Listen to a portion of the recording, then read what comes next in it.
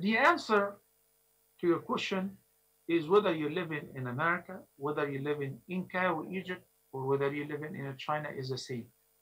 If the meat has been slaughtered by either a Muslim or a Kitabi, a person who is Jewish or Christian, then it is slaughtered, not killed.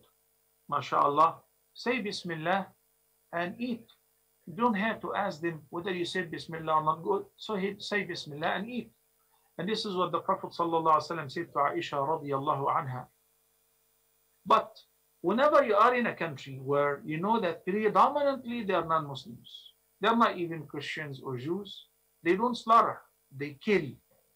And they confuse the meat, which is slaughtered, you know, in the slaughterhouse, slaughtered under same conditions for Uh, other amazing living creatures that they eat, then you have to be very careful. So if it is not slaughtered by a Muslim authority or by somebody whom you trust, don't eat it. So there are halal meat stores.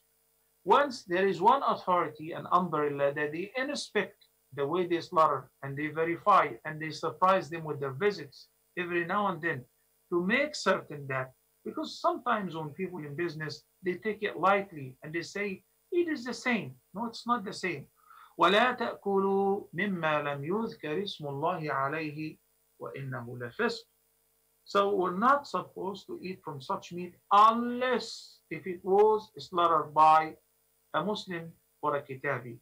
In the case of Muslim, we should mention the name of Allah subhanahu wa ta'ala. If he or she while slaughtering, they forgot to say the name of Allah, still halal to eat it, and you just say Bismillah on your own.